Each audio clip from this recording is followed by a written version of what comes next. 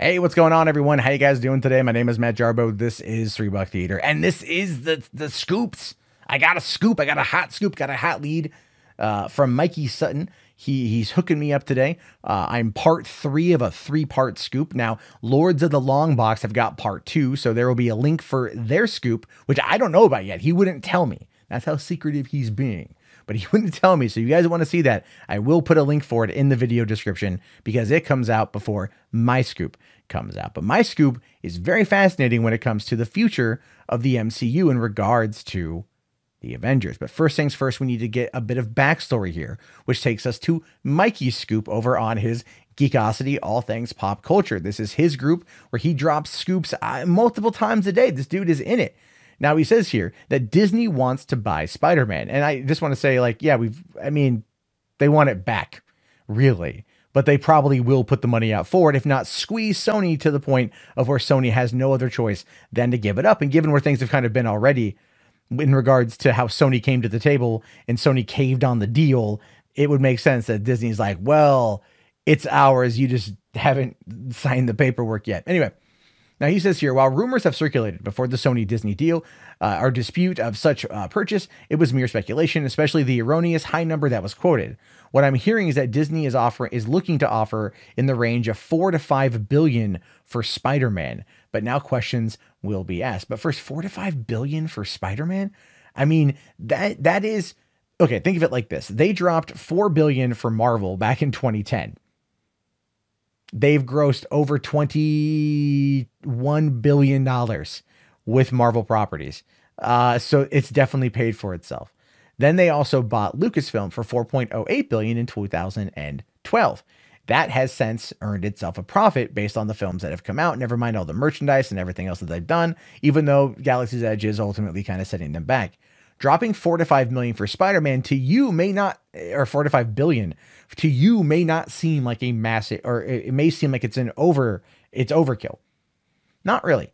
Uh, Sony has made around four billion or so with the movies that it's produced outside uh, of the uh, of the of the movies with uh with, with Marvel, and with those, it's done another two billion. The movie itself does really well. Merchandising rights have been uh, been back with Disney since 2011 uh, when they did a straight vertical trade for the licensing rights from uh, that the licensing fee that Sony had to pay Marvel, and and then also the merchandise that Sony had. So ultimately, Disney came out on top on that deal, but Mar- uh, Sony really needed the money apparently. So there is that whole thing. But four to five billion, uh, again, makes sense for how many movies are going to put Spider Man in. It makes sense for what I'm going to be talking about, my specific scoop. And if you think about just the litany of characters that Sony has, if I recall, they've got somewhere in the neighborhood of like 600 characters. Uh, I, if I recall, there's around 600 characters. There are so many characters that they have access to that Kevin Feige and Disney want, and this could be a potential sellout for them.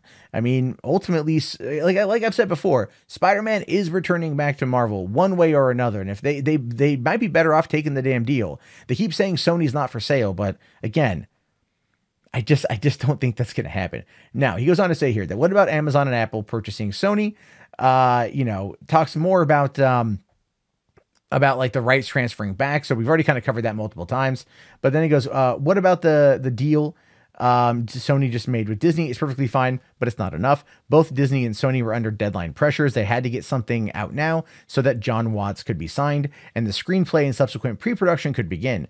Negotiations for the purchase of Spider-Man's rights won't happen overnight. In fact, what he's hearing here is the only side he's hearing here is Disney's. He doesn't know how Sony feels about this, but he thinks that uh, his Spider Sense says that as Sony is willing to sell the rights to Masters of the Universe to Netflix, it's about finding the magic number because everything has a price, which is true. And I talked about that too. But I talked about that more from the perspective of uh, it, it, it, being a, a, good way to license the, the rights to Netflix. Not that Netflix, they would buy the distribution rights, they wouldn't buy the outright rights, is what I think would more or less happen here. Very similar to how Paramount has sold some movies like Annihilation and Cloverfield Paradox to Netflix. They would work a deal for the streaming rights and probably day and date release because Netflix very much wants that, even though like movie studios don't. Netflix has the cash and the pull to back it up. And I think that's what we're going to see things. They've been talking about it for years, but we're going to start seeing it a, a lot more. Uh, and that's where I think things are currently at with that one. But here's the final part of this. What about the 25% equity stake in the Spider-Man IP that Forbes reported, claiming that Disney now has from the deal? If accurate, it's still not enough. Disney will accept this and continue to renegotiate with Sony for future Spider Man movies and appearances if that's all they can get. But their preference for them is to own him completely, and they will go for it. Uh, if it were to happen, perhaps Spider Man 3 should be called Home for Good, which I think would be a very interesting title for like the fourth Spider Man movie, which would probably be when this happens. Now, one thing I do want to kind of uh, I don't know if it's my take on it is that when Forbes talked about the 25% equity, they're the only outlet I've seen talking about the 25% equity. Uh, some people, Mikey here included, believe that the equity is actually in part for the entire brand, the entire thing. But I, I can only find that 25% equity talking about in that Forbes article. My personal take on it is that it's 25% equity in Spider Man Far From Home 3, or whatever they're going to call it, Spider Man 3. And then, uh, and that's going to include the theatrical theatrical as well as the home video uh, and, and digital streaming rights and I and profits. And I say that because uh, merchandise, as I've already pointed out, is already owned by by Disney and Marvel, so they don't need to worry about that. And when it came to the previous deal for Homecoming and Far From Home, they got five percent of first dollar gross. So uh, that was just the first day. That was Thursday night previews and the first day. That was it. Otherwise, they got nothing. I keep seeing that misrepresented too, John Campea. Uh, you know, it's not five percent of everything. It's just 5% of the first day. So, so that, uh, so that's really what it boils down to here. That's kind of where we are. Now you're caught up. If you've already watched The Lords of the Long Box or read this, I apologize. But if you're new here, this is where we currently find ourselves. So, what's my hot scoop? What what am I going to find out here? Well, according to Mikey, the big scoop here is that Spider-Man will be leading the Avengers once they're done with Spider Man 3. If Disney can make this deal work, and they have the power, and they have the pull, and they have the sway, and they've got the fans on their side in order to pressure Sony into making this deal work, then for the foreseeable future, they would then start putting him in the new Avengers movies and making him the leader of the new Avengers. I mean, and let's be fair Spider Man Far From Home, they set that up they already set that up. The whole Edith goggles, uh, you know, making sure Nick Fury gave got them to uh, to, to Peter Parker, all the crap that came with that. At the end of the day, he still has them. There's that really sweet scene that for some reason they cut out of the movie where he get he meets with Aunt May again and he wears the glasses and she kind of goes, ah, and he's like, oh, they were Tony's, and she's like, oh, you'll grow into them, right? I mean, that right there was clearly a hint. That was clearly an Easter egg of what's going on.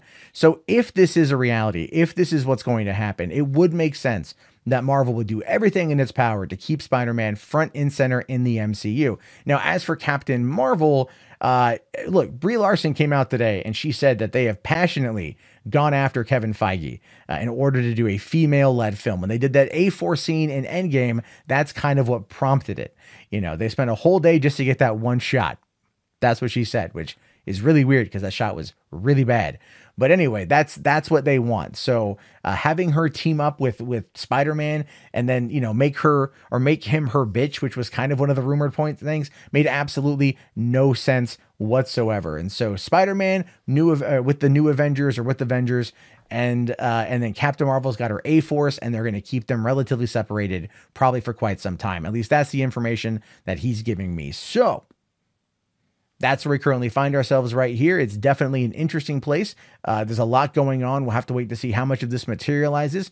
I'm actually really excited to see whether or not Spider Man does take over the Avengers. I know there are people out there who want to just keep him ground level, your friendly neighborhood Spider Man, and they don't like the, the, the, the new Marvel version of it.